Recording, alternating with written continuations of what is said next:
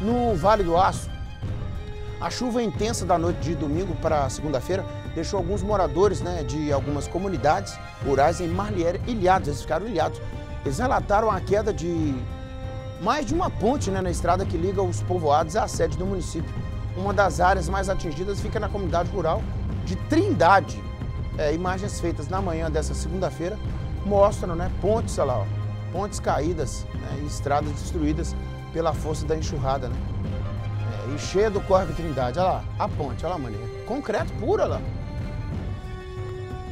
É concreto ainda, só que desabou, né? É, provavelmente já tinha sido feita alguma intervenção ali, ó. Tá vendo aqueles sacos ali? De areia, né?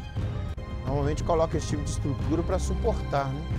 Lá a cabeça, chamada cabeça da ponte. É, a, a, eu conversava com uma pessoa né, sobre engenharia. Eu não sou engenheiro, Jarão que estuda engenharia. É, deu tempo da engenharia já evoluir, né? Colocar, colocar a ponta, a cabeceira da ponte num lugar mais, mais extenso né? e não logo na borda do rio, né? Eu não sei como é que funcionaria isso. É só uma ideia de alguém que não entende de engenharia, mas pelo menos consigo ver algumas aberrações que tem por aí, né? É, e sem contar que às vezes a ponte é licitada num valor. Né?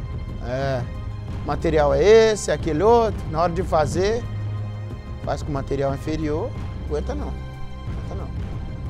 Aí no caso não foi nem a ponte que comprometeu. Volta essa imagem da ponte para mim lá, o, o, o dessa. Porque a ponte parece que ela está intacta, né? Aí vê que o estrago foi no, no chão, né? No piso. Olha lá. É, ela desceu praticamente intacta, né? É. É muito estrago, né?